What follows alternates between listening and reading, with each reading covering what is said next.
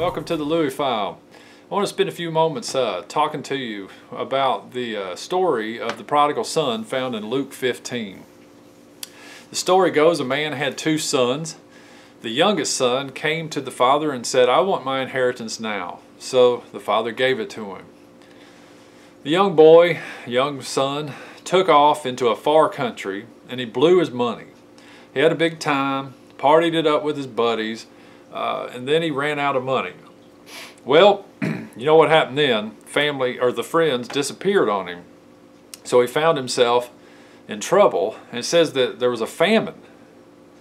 So he sold himself or hired himself out to this man that uh, raised hogs or raised pigs. And this young man says, well, he's got to do something. So he starts feeding these hogs.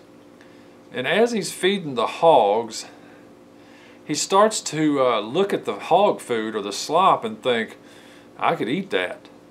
I mean, he, he's really hungry and he's he's actually contemplating eating eating the hog food. And it's and it says an interesting thing right there in that same verse. It says, "And no one or no man gave to him." And, and I think that there's the key right there. He lost everything he found himself desiring things he knew were not desirable. He knew were not good for him. He knew that was not good for him. I mean, in the story, the idea here is is that this would have been a Jewish young man, and just having a job around hogs would have been unclean, much less eating what they were they were eating.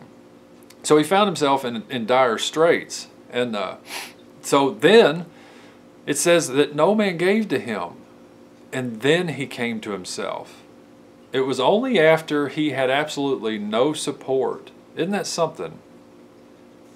You know, I uh, I uh, teach the Bible at the jail and at prison, and I've noticed that when those guys uh, get put in there and they have nothing, I just talked to one the other night that said he has no money, no visits, no phone calls, no one comes to see him.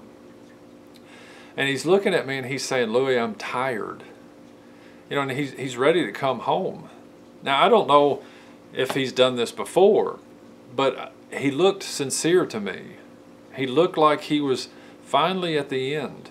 You know, the prodigal story goes on to say the young man makes the decision. He says, My father has uh, servants who are, who are living better than I am, so I'll just go home and I'll just tell my father to make me a slave rather than live like this. So he made his way home, and it says, On his way home, the father saw him and ran to him and hugged him and kissed him.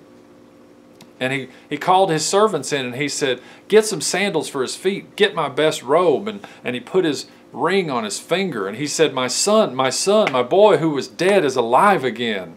We're getting ready to celebrate. He said, Go and kill the fatted calf. We're getting ready to have a big old party. We're going to have us a block party.